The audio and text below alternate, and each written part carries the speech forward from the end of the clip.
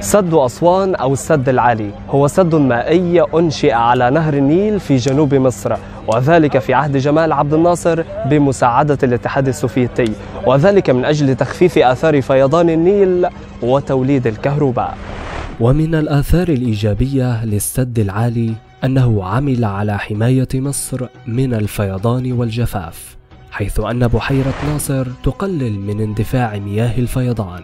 وتقوم بتخزينها للاستفادة منها في سنوات الجفاف.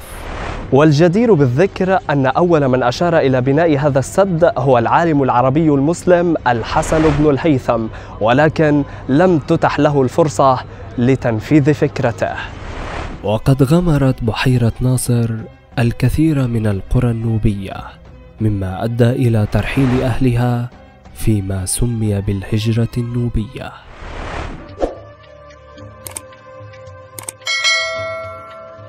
لا تنسوا الاشتراك في القناة.